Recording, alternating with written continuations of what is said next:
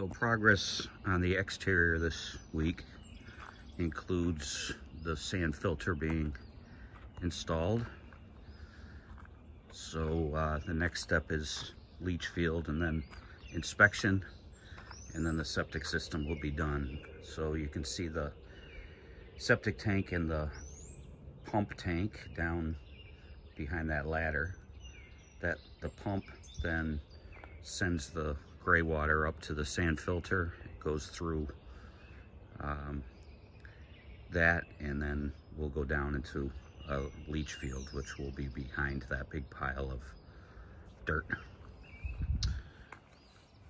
Um, beyond that, Israel and his guys started trimming out uh, the corners and the windows and so forth and started putting battens up, which uh, you can see really nicely on the garage. Gives you a good idea of what the exterior of the house is actually going to look like when it's all done. So uh, Joe also installed the exterior sconces on the garage. So yeah, starting to come together and uh, hopefully uh, they'll get most of the trim and battens done this coming week and the week after. In addition, um, they installed the front door. Kind of a big step. Looks really nice. So on the interior,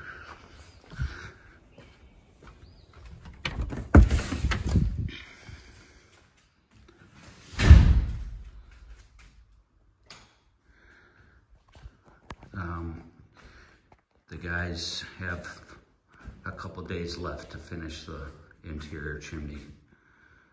So I'd say two to maybe three. And beyond that, um, we pre-finished all of the trim, which I thought was gonna be installed this past week, but um, we actually had to do a number of coats on the pre-finishing, both the um, clear polyurethane on the Doug fir, as well as the semi-gloss white on the portions that are gonna be white.